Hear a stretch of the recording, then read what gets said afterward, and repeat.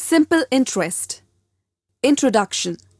In general terms, simple interest is mostly associated with bank savings. If a man saves some money from his earnings and deposits it in a bank, he gets some additional money along with the principal amount which he deposited earlier after a period. It can be in days or in months or years too. The money one deposits is called the principal and the additional money he gets after a period is called the interest. The total money, that is, the principal and the interest together is called the amount. Amount is equal to principal plus interest. Principal is equal to amount minus interest. Interest is equal to amount minus principal.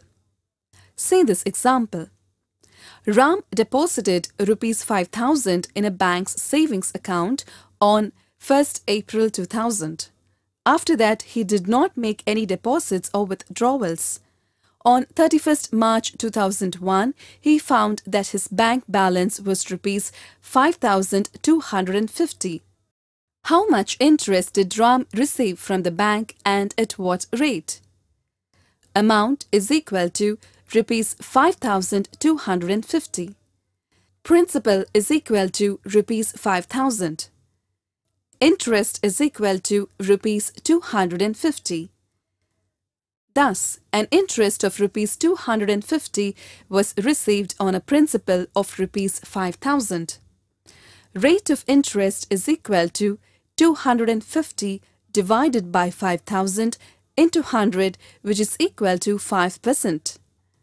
Thus, Ram received interest at 5% for one year. Remember, the rate of interest is always calculated on the principal. The time period over which the rate of interest is applicable is very important. 5% over one year will become 2.5% over two years, 1% over five years and 60% over a month. 5% for a period of one year is written as 5% per year or 5% per annum.